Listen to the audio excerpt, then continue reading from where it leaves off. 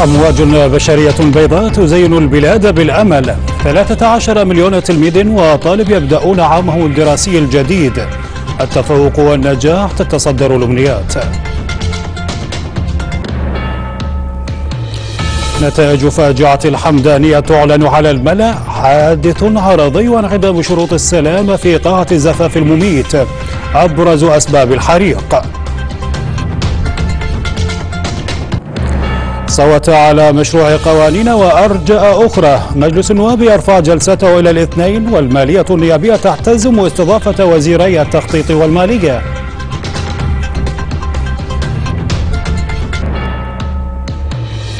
خلال لقائه وزير النقل التركي السوداني ثمن حماس أنقرة في المشاركة بمشروع طريق للتنمية الحيوي.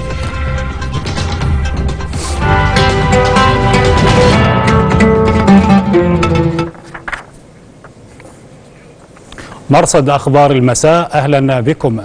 بمشاركة 13 مليون تلميذ وطالب انطلق الأحد العام الدراسي الجديد 2023-2024 في عموم محافظات البلاد. وهنأ وزير التربية إبراهيم نامس الجمهور أي هيئات التعليمية والتدريسية والطلبة في عموم العراق بمناسبة بدء العام الدراسي الجديد. مؤكدا إن العام الدراسي يحل تطلعات بل يحمل تطلعات وطموحات ملؤها الأصرار والعزيمة. ودعا الجمهور الهيئات التعليمية والتدريسية إلى التكاتف تحت جناح التعليم والمهنية للمحافظة على المكتسبات التربوية وتحقيق الارتقاء الأمثل الذي يصل إلى مستويات يفوق التوقعات.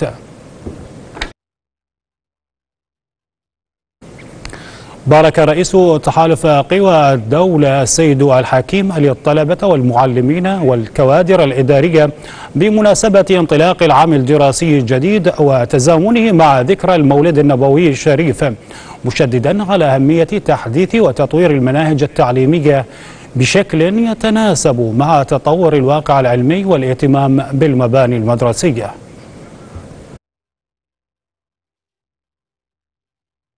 إذا أردنا أن نبني وطنا نفتخر به ونعتز به فنحتاج إلى الكوادر البشرية القادرة على هذا البناء والتطوير.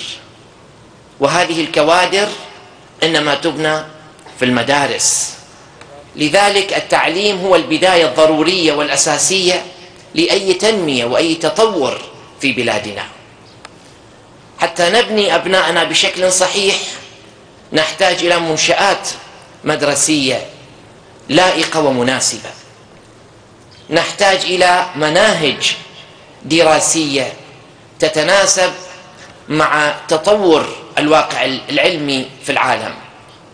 أن نبدأ من حيث ما انتهى الآخرون. مناهجنا يجب أن تحتوي على تاريخنا وحضارتنا وثقافتنا وماضينا وأمجادنا في هذا البلد في وطننا. ويجب أن أيضا تتضمن تطلعاتنا المستقبلية للعراق الذي نتطلع إليه ونحلم به. وفي معرض حديثه في لقاء صحفي مع بدء العام الدراسي الجديد أكد رئيس الوزراء محمد الشيع السوداني إنه لا يوجد سند قانوني في جباية الأموال من عوائل الطلبة في بعض المدارس وخاصة مع توفر التخصيصات المالية في الموازنة لكل مديريات التربية. تعاني العوائل العراقية من جبايات غير قانونية تحصل في المدارس. وهذه ما إلها أي سند بالقانون. قاعدة تولد استياء كبير لدى المواطنين بسبب قيام بعض الكوادر الإدارية بحجة ترميم مدارس. أو كذا إحنا أكو مدرسة الآباء مو أولياء الأمور؟ إيه؟ عندهم مبادرة خاصة بهم هم هم معنيين فيها. أما نجي نفرضها على العوائل على التلاميذ هذا مو صحيح. وهذا مؤشر. الدولة الحمد لله عندها موازنة وعندها تخصيصات وعندها إمكانيات. وإحنا عندنا تخصيصات ومنطينها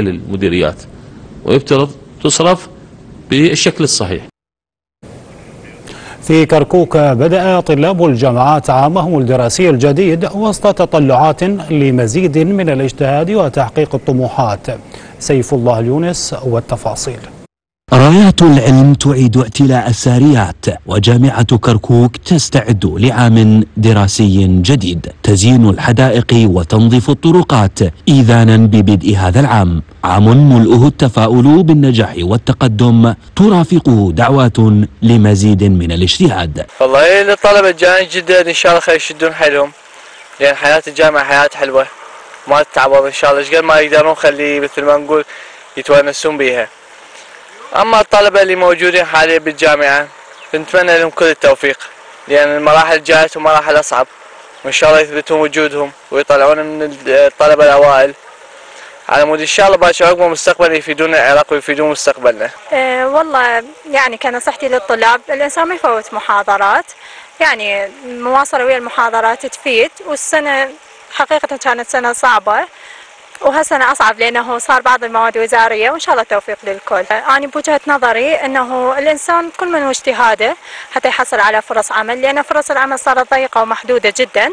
يعني خاصة فقط بالمجالات الطبية التعيين مركزي أما المجالات الإنسانية الأخرى ما بها تبقى على اجتهاد الشخص للإنسان. ثمانية عشر كلية وعشرات الأقسام رفعت أقلام الجاهزية لبدء معترك علمي آخر تسعى من خلاله جامعة كركوك للنهوض بالواقع العلمي لها في ظل تزايد أعداد الطلبة والاختصاصات الدراسية. على بركة الله آه، جامعة كركوك حالها حال بقية الجامعات آه، باشرت في العام الدراسي الجديد يوم آه، 17 17 9 حسب تقويم الجامعة المعدل. 18 آه، كلية عندنا آه، باشروا في نفس التوقيت. وحقيقة آه، زامنت المباشرة مع الامتحانات الوزارية للصف السادس الإعدادي حسب توجيهات الوزارة. الحمد لله الكليات أغلب الكليات كان التوجيه من رئاسة الجامعة والوزارة بالإستعداد المبكر لبدء العام الدراسي. الجديد وأكملت جميع الكليات أعمال الصيانة وأعمال التهيئة والتنظيف لبدء العام الدراسي الجديد. آلاف الطلبة والطالبات بزيهم المعهود وإطلالاتهم العلمية سيتوجهون لنيل شهادات مختلفة والمساهمة مستقبلا في بناء العراق الجديد. في ظل احتضانها امتحانات السادس الإعدادي جامعة كركوك تعلن استقبالها عاما دراسيا جديدا. وعينها صوب تحصيل علمي جديد. من كركوك سيف الله اليونس قناة الفرات الفضائية. هنأ رئيس الجمهورية عبد اللطيف جمال رشيد الطلبة والكوادر التدريسية بمناسبة انطلاق العام الدراسي الجديد. وذكر رشيد في منشور له على منصة إكس إنه يتقدم بالتهنئة إلى الطلبة وذويهم وإلى الأسرة التعليمية الموقرة متمنيا لهم عاما دراسيا ناجحا وموفقا. وأضاف أن النهوض بالتعليم يعد أولوية لمستقبل مزدهر ينعم فيه العراق بالأمن والاستقرار. ومن الواجب دعم هذا المسار مؤكدا أنه بالعلم ترتقي الأمم.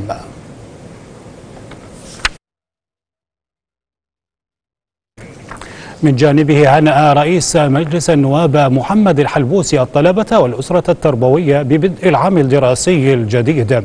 وأن الحلبوسي في منشور له على منصة أكس مع بداية العام الدراسي الجديد الطلبة والأسرة التربوية متمنيا لهم عاما دراسيا جديدا مليئا بالجد والنجاح.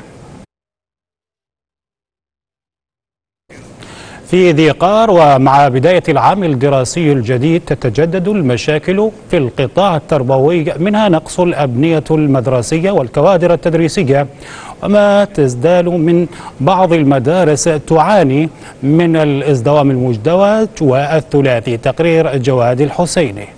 مع بدء العام الدراسي الجديد تتجدد معه المشاكل في القطاع التربوي في ذي قار متمثلة بقلة عدد المدارس المخصصة للطلبة وتلاميذ المحافظة. ما يضطر إدارات المدارس للعمل بنظام الدوام المزدوج حيث ما زالت الكثير من المدارس تعمل بالدوام الثنائي والثلاثي فضلا عن النقص في توزيع الكتب والقرطاسية والمستلزمات والاحتياجات المدرسية الأخرى. الأبنية المدرسية مشكلة عويصة صار حوالي أكثر من 20 سنة آه، هناك مدارس مزدوجة ومدارس ثلاثية ومدارس حتى رباعية إحنا في محافظة ديقار نحتاج إلى 850 بناية 850 بناية لفك الازدواج. بالنسبة للمستلزمات الدراسية أو الخدمات التربوية اللي هي تشمل الكتاب وتشمل الدفتر وتشمل آه، القلم وتشمل الأثاث والرحلة والسبورة طبعا لحد الآن البوادر ضعيفة جدا. آه، بالنسبة للقرطاسية حوالي 25% ينطوي للإدارات آه، والكتب. وقسم بعض الإدارات أكثر من 25% وقسم إدارات لحد الآن ما استلموا. بما إنه العام الدراسي الجديد بدأ هسه. بس اكو معاناة يعني بالنسبة للطلبة والتلاميذ. أول شيء قرطاسية ما ما جات تتوفر. المدارس كل مدرسة أعدادها صار هواي يعني زيادة عن اللزوم. كل صف تقريبا 40 45 طالب. وتتصاعد المطالبات من قبل أبناء محافظة ذي قار بضرورة إجراء إصلاحات في القطاع التربوي الذي يعاني كثيرا على مستوى قلة الأبنية المدرسية وتلكؤ بعض المشاريع الخاصة بها. وما زالت بعض المدارس في ذي قار بدائية وكرفانية خاصة في المناطق الريفية والنائية. فضلا عن النقص في الكوادر التدريسية والخدمية والمناهج الجديدة والمستلزمات الضرورية. لا زال قطاع التربية والتعليم يعاني من نقص كبير في آه، بنايات المدرسية والدوام المزدوج وقلة الكوادر رغم آه، التعيينات الكثيرة وقلة الاختصاصات. آه، وبالإضافة إلى عمال الخدمة تجد مدرسة كبيرة بأعداد كبيرة من الطلبة بعامل خدمة واحد. الدوام المزدوج لا زال موجود. المدارس الكرفانية لا زالت موجودة. عندنا في شمال الناصرية مشروع مدارس متلكئة يجب النظر بها وتعزل مشاكل إلى أنه مشاكل بين الوزارات. مطالباتنا أنه آه، تعاد النظر بالبنايات المدرسية كما ونوعا. النوع أيضا غير صالح. 40 طالب بالشعبة أو 50 ويصل العدد حتى إلى 60 في الصفوف الأولى. بالإضافة إلى موضوع موضوع المناهج. مناهج انت تفاجئ الطالب تنطيه منهج ممزق مقطع هاي اسوء رسالة تقدمها للتلميذ في بداية حياته. ومع بدء العام الدراسي الجديد ما زالت ذقار تعيش نظام الدوام المزدوج في أغلب مدارسها لعدم اتساع المدارس لاستيعاب الطلبة والتلاميذ. المحافظة بحاجة إلى عدد كبير من الأبنية المدرسية. ذقار جواد الحسيني الفرات.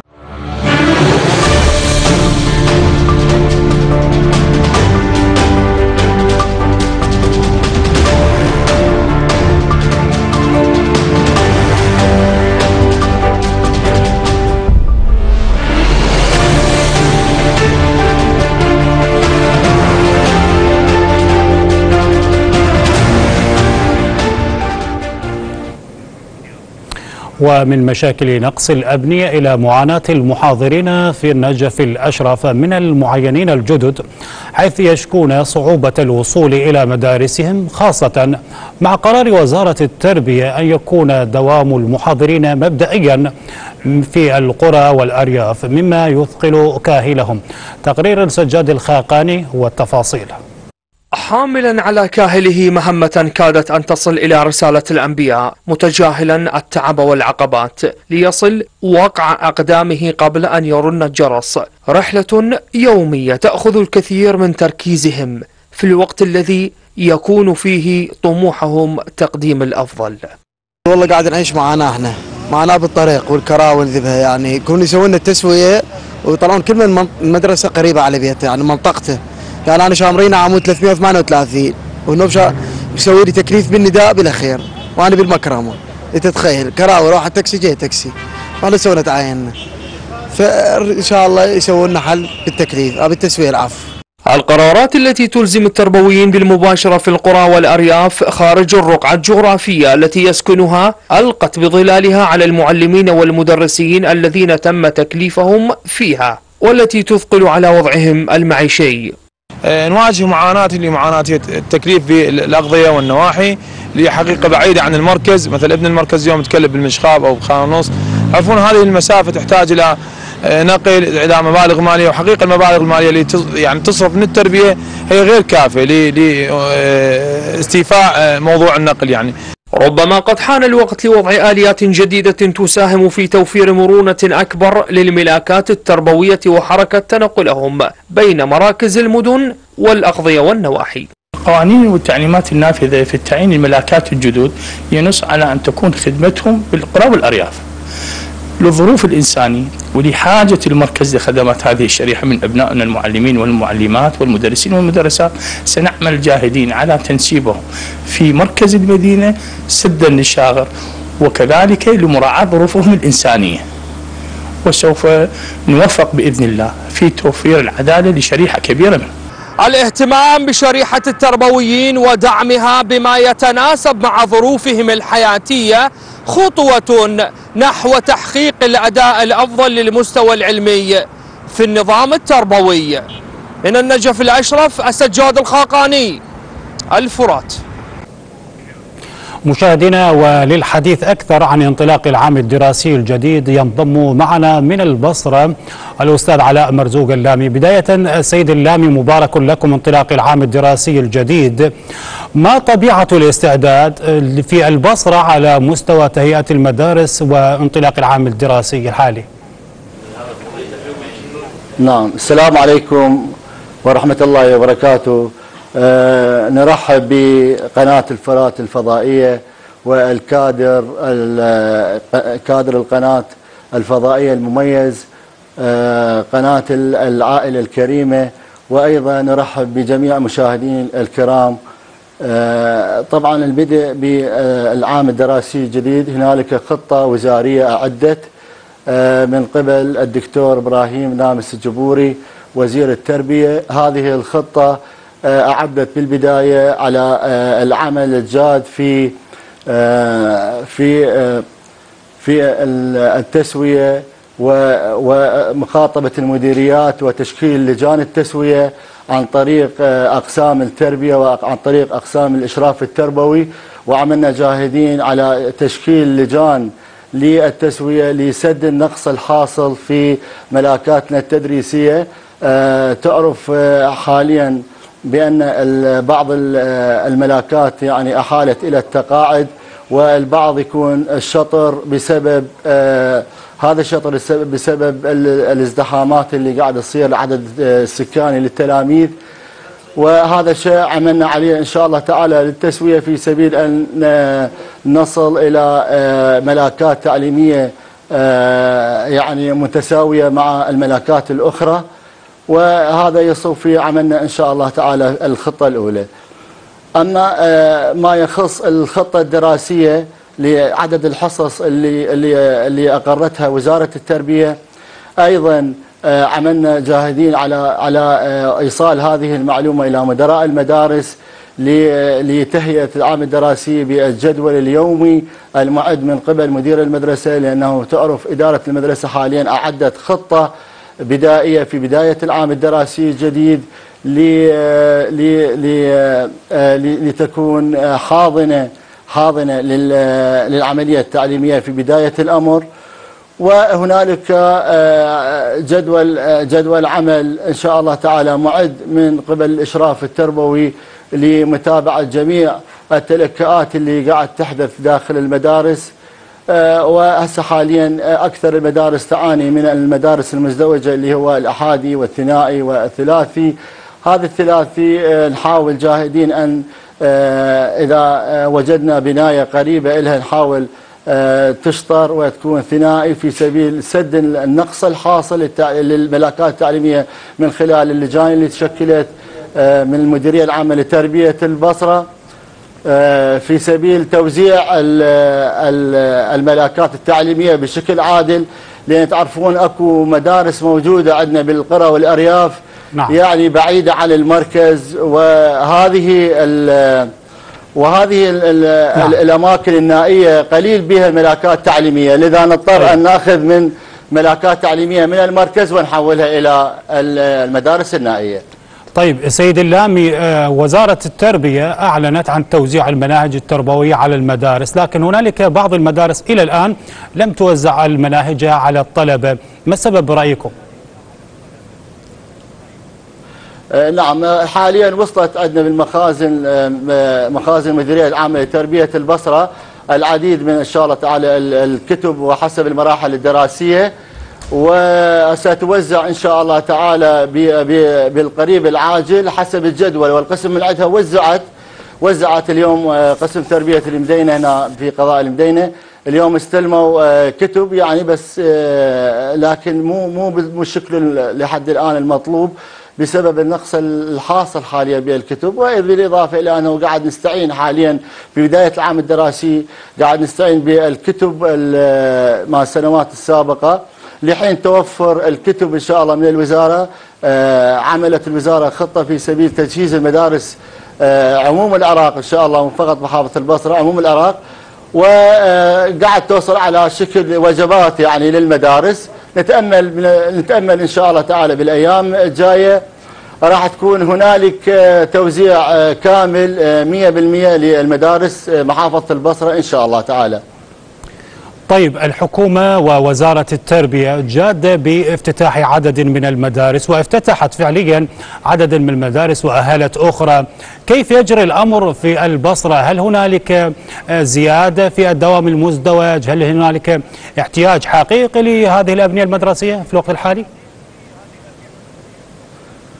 آه، طبعا مثل ما ذكرت في البداية بأنه الازدد- الازدياد العدد التلاميذ حاليا والتعداد السكاني يعني لكل مدرسة عندنا آه، آه، أخذنا أخذنا مدارس مثلا مدارس الدولية أخذت من عندنا آه، ال- الاختناقات الموجودة بالتلاميذ وأيضا عندنا مدارس المتفوقين اللي فتحت عندنا أخذت آه، من المدارس الحكومية وبالإضافة إلى المدارس الأهلية أيضا أخذت من المدارس ال- الحكومية لذا آه، الباقي فت شيء قليل إن شاء الله تعالى من المدارس المزدوجة. آه، يتم آه، إن شاء الله علاجها وحلها آه، بجهود إن شاء الله المدير العام لتربية البصرة الدكتور عبد الحسين آه، وبجهود آه، محافظة البصرة إن شاء الله تعالى آه، والابنيه المدرسية تم بناء آه، آه، مدارس في محافظة البصرة موزعة على قضيه والنواحي.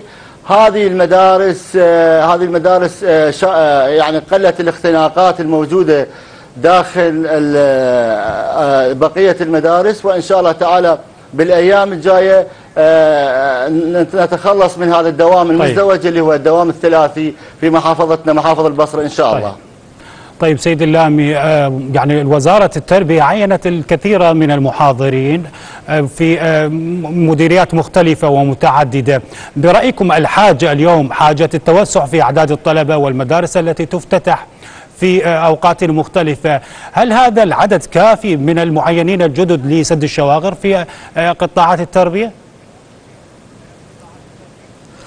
إحنا هسه عملنا جاهدين إن شاء الله تعالى لعملنا بلجان التسوية وهناك عندنا خطة عمل وجرد بملاكاتنا التعليمية سواء الملاكات الدائمية أو الملاك اللي الم- المحاضر والعقود اللي تعينوا مجددا إن شاء الله راح تتوزع بشكل عادل على المدارس. هنالك آه، يوجد نقص بسبب آه، الشطر اللي قاعد يصير بالمدارس وأيضا اللي اللي أحالوا على التقاعد. فنحتاج إلى كوادر تعليمية. أيضا يعني إحنا آه، كمديرية عامة من قاعد نشوف الكوادر الموجودة عندنا لا تلبي بص آه، يعني حسب الاختصاصات الموجودة وإنما يكون اختصاص فائض به وبعض الاختصاصات آه، يعني قليلة به وخاصة اختصاصات الإنجليزي واختصاص الرياضيات فان شاء الله تعالى بهذه ال- اللجنة التي آه، شكلت من قبل المديريه العامة لتربية البصرة لجنة التسوية راح نحل هذه الاختناقات إن شاء الله تعالى.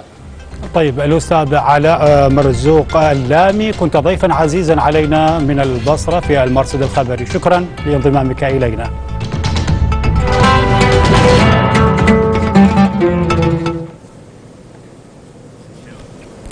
أعلنت لجنة التحقيق بحادث حريق الحمداني عن نتائج التحقيق بالحادث. وفيما بينت إن سببا مصدر ناري لامس مواد سريعة الاشتعال. أكدت إن الحادث عرضي وقال رئيس اللجنة اللواء سعد فالح كسار الدليمي في مؤتمر صحفي إن حادث الحريق المؤسف أدى إلى وفاة 107 أشخاص و82 مصابا. من خلال إجراء الكشف لوحظ وجود كميات كبيرة من المشروبات الكحولية على الطاولات وبقايا العلب والقناديل المشروبات وأن مادة الكحول مثل ما يعرف الجميع مادة سريعة الاشتعال وتساعد على ذلك. تبين عدم وجود أبواب طوارئ. باب طوارئ رئيسي المفروض أن يكون باب كبير الحجم. لاحظت اللجنة أنه أكو أبواب صغيرة وهي خاصة للخدمة وللإدارة.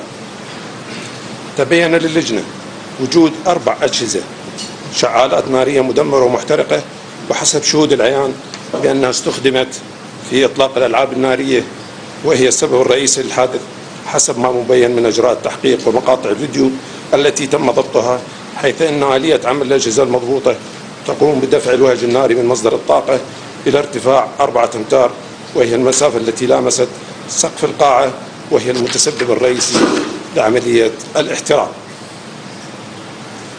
اطلعت اللجنة التحقيقية على كتاب قسم الأدلة الجنائية في مسرح الجريمة والمتضمن الرأي المشار إليه بأن سبب الحريق هو حصول مصدر ناري لامس المواد القابلة للاشتعال مما أدى إلى حصول أضرار الناتجة والتي كان السبب الرئيسي للاحتراق كذلك تم الانتقال إلى آه، مستشفى مستشفيات محافظة نينوى ومعاينة الوفيات والجرحى وأصبح العدد الكلي لغاية هذه اللحظة هي 107 متوفي و82 جريح. فيما أكد مستشار وزير الداخلية اللواء كاظم بوهانا خلال المؤتمر إن الحادث عرضي وغير محتمد وهنالك قصور من أصحاب قاعة العرس لافتا إلى أن الألعاب النارية ولدت طاقة حرارية عالية جدا وقد استخدمت داخل القاعة. ثبت اللجنة التحقيقية بشكل قاطع أن الحادث كان عرضيا وغير متعمد وحصل بسبب الإهمال الجسيم والتقصير بالواجبات الوظيفية واستخدام مواد بناء ممنوعة وسريعة الاشتعال وتساعد في انتشار النيران وهي السندويتش بنر فضلا عن نواتج الحريق السامة الناتجة عنها. اثنين كان لمواد الديكور الموجودة في سقف القاعة وهي عبارة عن قش صناعي شديد الحساسية تجاه الحرارة مع استخدام أربعة أجهزة لتشغيل الألعاب النارية في آن واحد سببا في من أسباب الحريق الرئيسية عدم قيام صاحب القاعة بتوفير مستلزمات السلامة والأمان ومتطلبات الدفاع المدني وعدم تقيده بالطاقة الاستيعابية للمكان والسماح بدخول ضعف العدد فيها أدى إلى تزايد آه، الخسائر للأسف الشديد. فيما أوضح وزير الداخلية عبد الأمير الشمري خلال المؤتمر. أن صاحب القاعة سحب جهاز مراقبة الكاميرات وهرب إلى أربيل حيث تم إلقاء القبض عليه وأظهاره التسجيلات وأضاف أن سقف القاعة يحتوي على مواد سريعة الاشتعال كما وأن الكحول المنتشرة في القاعة والكاربيد المستخدم بفرش أرضية القاعة أدى إلى حدوث هذا الحريق المفجع. لحد ما تم تشغيل الشعالات وبدت أول أول احتراق للمواد اللي موجودة في سقف القاعة في أعلى لاحظ. في أعلى السقف كان أول شرارة وحتى الحاضرين ما كان عندهم يعني شعور بوجود الحريق لولا تساقط الأجزاء النارية من من سقف القاعة سقف القاعة كان مزين بالأقمشة والمواد السريعة الاشتعال وهذا ما عجل في احتراق السقف وانهياره خلال دقائق على آه، من في القاعة اللي أيضا ساعد مثل ما تفضل الأخ آه، المستشار اللي ساعد في موضوع آه، انتشار الحريق بسرعة أرضية القاعة اللي هي بالكاربت مع وجود قناني من المواد الكحولية مع وجود مخزن من المواد الكحولية وكذلك وجود أجهزة تبريد في سقف القاعة عجل في آه، والمواد السريعة الاشتعال عجل في اشتعال القاعة بشكل سريع وتحولها إلى آه، إلى إلى كرة نارية يعني كل القاعة أصبحت عبارة عن نار. هذا ونشرت وزارة الداخلية مقطع فيديو من كاميرا المراقبة يبين اللحظات الأولى لنشوب حريق قاعة أعراس الهيثم في قضاء الحمدانية التي راح ضحية 107 أشخاص 82 مصابا.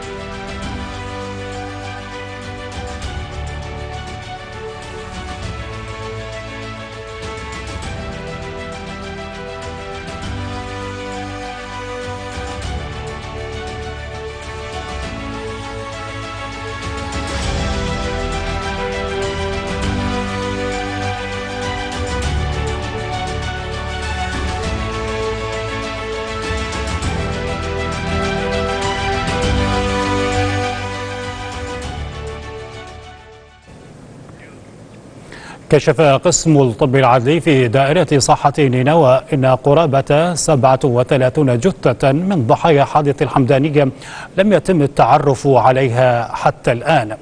مديرة قسم الطب العدلي في دائرة صحة نينوى شهد عارف السلطان أفادت أن لم يتم التعرف على هوية قرابة 37 جثة من ضحايا حادث الحمدانية وعزت سبب عدم التعرف على هوية بعض الجثث إلى ارتفاع نسب الحروق. مديرة قسم الطب العدلي ذكرت أنه تم التعرف على هوية 70 جثة وسلمت لذويهم.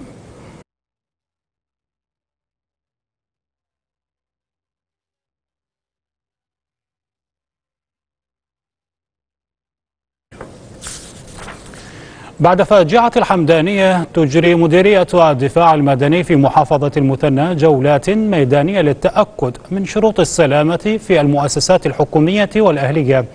أصحاب المباني أبدوا استعدادهم للتعاون مع مديرية الدفاع المدني لتطبيق شروط السلامة. المزيد في التقرير الآتي. تكرار مسلسل الحرائق في البلاد ورغم قساوة مشهده لكنه بات أمرا معتادا وآخر الحرائق المفجعة ما حصل في زفاف الحمدانية. الأمر الذي دفع بفرق الدفاع المدني في المثنى لإطلاق حملة تفتيش وكشف عن المباني المخالفة لتعليمات السلامة كشوفات استثنائية على كافة المشاريع العامة والخاصة الحكومية والمشاريع. منها آه، قاعات الأعراس والمطاعم والمولات والفنادق. قامت المديرية أيضا آه، بإحالة المخالفين إلى جلسة الفصل في مديرية الدفاع المدني العامة والمحاكم المختصة داخل المحافظة. في الوقت الذي تنفذ فيه الأجهزة الأمنية حملة استثنائية طالب مراقبون باستمرار المتابعة وتشديد إجراءات السلامة. فيما أشاد أصحاب المباني بالحملة وضرورة الحفاظ على حياة الناس. المحافظة على أرواح الناس وهي يتم عن طريق التعاون البناء بين أجهزة الدفاع المدني وصاحب المنشأ نفسه. لذلك هي كل جيد أن نشوف الزيارات الميدانية المتكررة من قبل الدفاع المدني. توجيهنا على الأخطاء الموجودة نحاول تصحيحها إن شاء الله. الإجراءات الخاصة بالدفاع المدني وكما نعلم أنها إجراءات دورية وموجودة بالفعل على أرض الواقع ولكن عدم الالتزام من قبل المؤسسات الأهلية الحكومية وغيرها هذا الذي جعل هناك خلل في بعض يعني آه، مؤسسات السلامة أو دواعي السلامة لتلك آه، الأبنية الخاصة بالأعراس بالمولات وغيرها. وتشير بيانات صادرة عن مديرية الدفاع المدني تسجيل 19 ألف حريق حتى آب الماضي. راح ضحيتها نحو 850 شخصا خلال السنوات الثلاث الماضية. من المثنى محمود قاسم الفرات. مشاهدينا وللحديث أكثر عن تداعيات حريق الحمدانية ينضم معنا مستشار وزير الداخلية اللواء كاظم بوهان. سيد بوهان بداية مرحبا بكم في المرصد الخبري. ما الجهة التي ثبت تقصيرها في حادث الحريق؟ أهلا وسهلا بحضرتك ومن خلالك المشاهدين الكرام.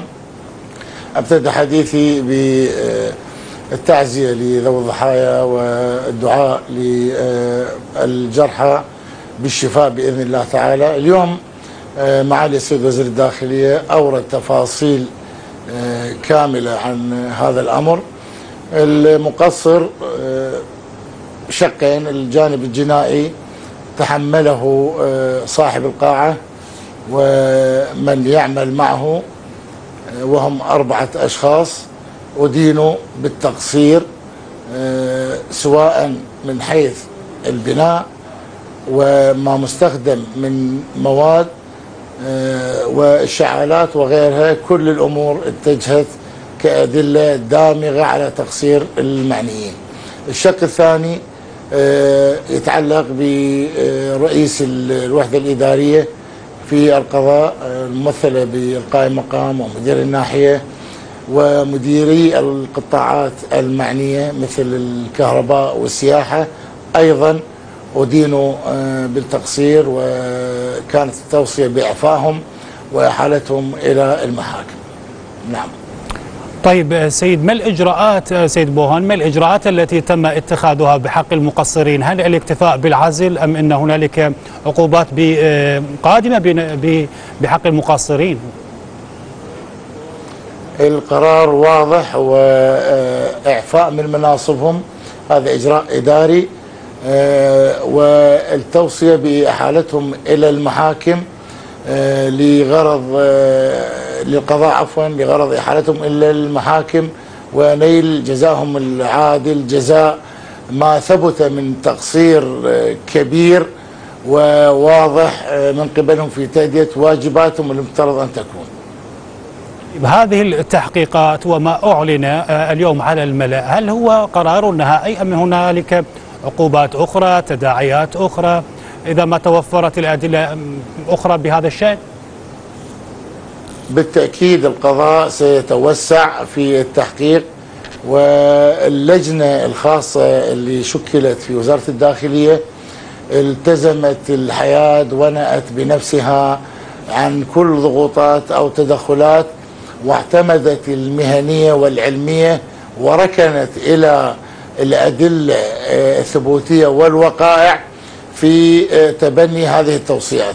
التوصيات كانت مستندة إلى إجراءات تحقيقية ووقائع على الأرض ووثائق وعينات اتخذوها اتخذت عفوا من مكان الحادث ومعاينة لمحل الحادث.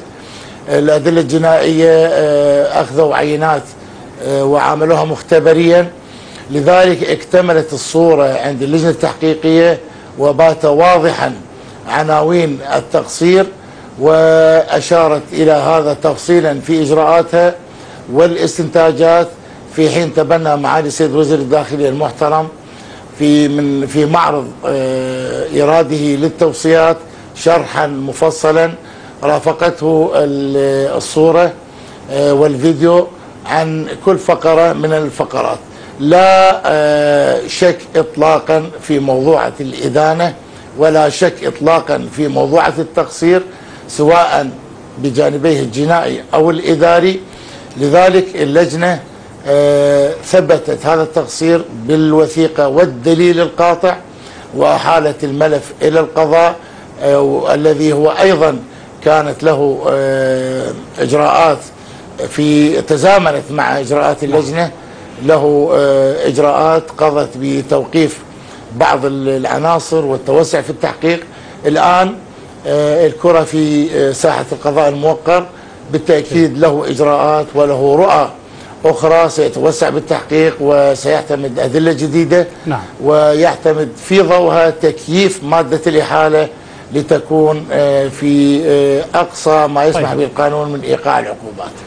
سيد بوهان لا يخفى على حضراتكم بأن هنالك جولات ومتابعات لفرق الدفاع المدني. هذه المتابعات وهذه الإجراءات التي باتت اليوم مشددة هل هي رد فعل أم ضمن عمل ممنهج ومتابعة مستمرة لأعمالها في شق في شق المتابعة ومهام الدفاع المدني؟ الحقيقة أكون صريح ويا جنابك قبل هذا نعم كانت آه، ردود الأفعال فورة وما تلبث أن تخبو جذوتها. الآن الوضع مختلف. الأمر الموقر للسيد رئيس الوزراء دولة رئيس الوزراء كان حاسم جدا.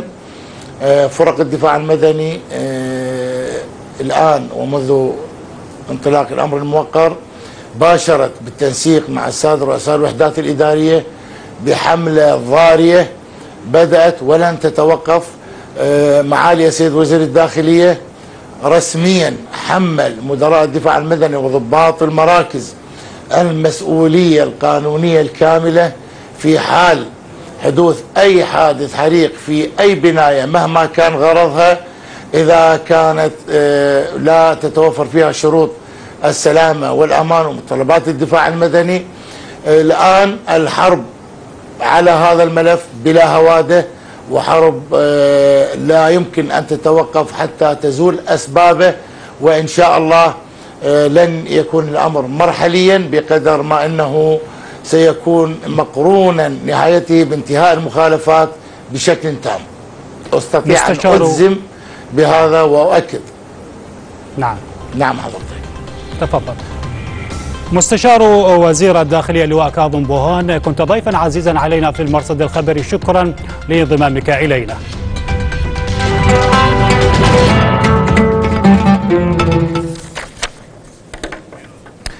رفع مجلس النواب جلسته الاعتيادية إلى يوم الاثنين بعد التصويت على عدد من مشاريع القوانين المدرجة على جدول أعماله.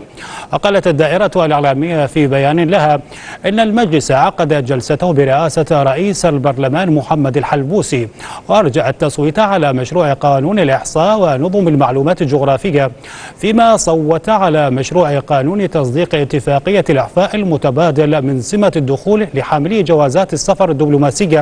والخاصة والخدمات وجوازات لشؤون العامة بين العراق وحكومة الصين الشعبية. صوت على مشروع قانون تصديق اتفاقية إعفاء حاملي جوازات السفر الدبلوماسية. الخدمة والخاصة من سمة الدخول بين حكومة جمهورية العراق وحكومة روسيا الاتحادية.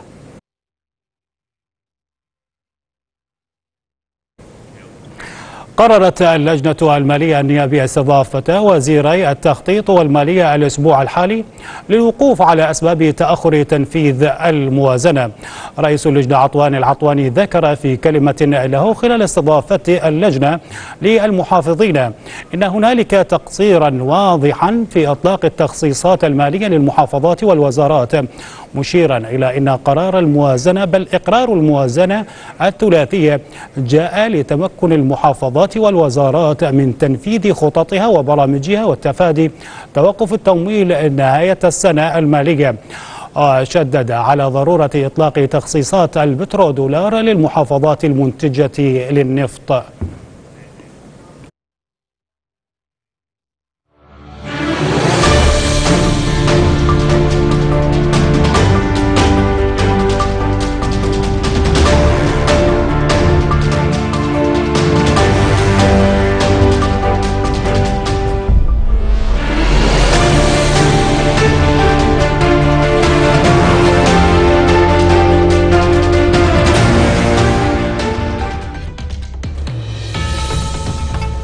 ختام مرصد الثامنة دمتم بسلام.